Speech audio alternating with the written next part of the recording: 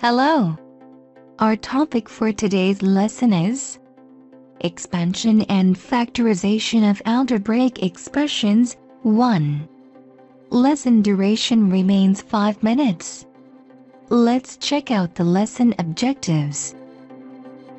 By the end of this lesson, you should be able to learn the following 1.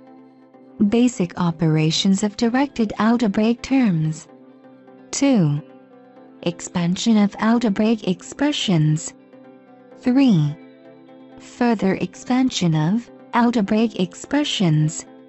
Please pay attention as we go through the lesson together. Basic operations of directed algebraic terms. In algebra, directed numbers with positive and negative signs are not for addition or subtraction, rather, they are the signs attached to the numbers. Example. The number plus 4 is called a positive 4. And minus 3 is called a negative 3. In multiplication and division of directed numbers or terms, it is important to observe the rules of multiplication and division of directed numbers. The diagrams on the board reminds us the rules of multiplication and division of directed numbers.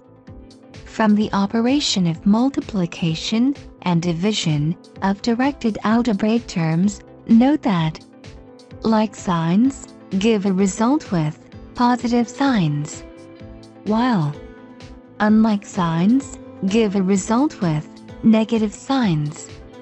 Now, let's see some examples. Example 1. Simplify the following expressions. 1. Minus 2a times plus 3. 2. Plus 20y divided by plus 10.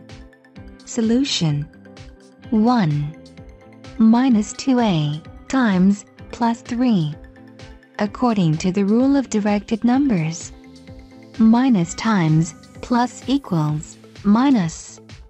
That is, 2 times 3 times a gives us minus 6 times a. Therefore, minus 2a times plus 3 equals minus 6a. 2 plus 20y divided by plus 10. According to the rule of directed numbers plus divided by plus equals plus. That is, 20 divided by 10 times y equals plus 2 times y. Therefore, plus 20y divided by plus 10 equals plus 2y. That's brilliant. Expansion of algebraic expressions an algebraic expression, involving brackets, can be expanded in two ways. Method 1. Solve the values inside the bracket, and multiply by the values outside the bracket. Example 2 bracket 3 plus 4 to give us 2 times 7, which equals 14. Method 2 Multiply each value inside the bracket by the value outside the bracket. Example 2 bracket 3 plus 4 to give us 2 times 3 plus 2 times 4 equals 6 plus 8 equals 14. Using both methods, we have that 2 bracket 3 plus 4 equals 14. However, method 2 is very useful in algebra, where we often use letters instead of only figures. Now, let's see some examples. Example 2. Remove the brackets and simplify the following expressions. 1. 2 bracket 3a plus b. 2. 5a bracket a plus 3b. Solution. Using method 2. multiply each value inside the bracket by the value outside the bracket. 1. 2 bracket 3a plus b gives us 2 times 3a plus 2 times b, which equals 6a plus 2b. Therefore, 2 bracket 3a plus b is equals to 6a plus 2b. 2.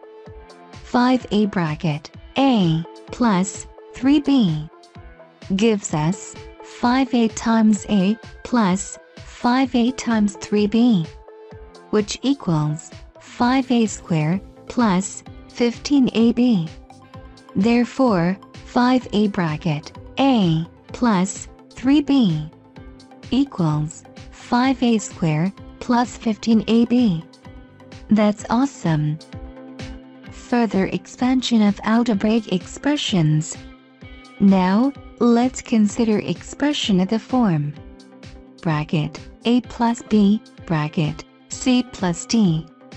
This expression looks harder than those considered in our previous works. But we can easily carry out the expansion. Solution To expand bracket a plus b bracket c plus d bracket a plus b bracket c plus d gives us a bracket c plus d plus b bracket c plus d which gives us AC plus AD plus BC plus BD.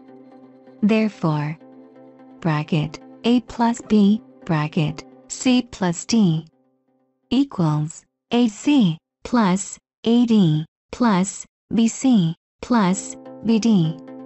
That's beautiful. Assignment. Pause the video Copy the following assignments and write the answers in your notebook. In summary, we have learned the following in this lesson. Basic operations of directed algebraic terms. Expansion of algebraic expression. Further expansion of algebraic expression. I believe you enjoyed this lesson. See you in our next one. Thanks. And goodbye.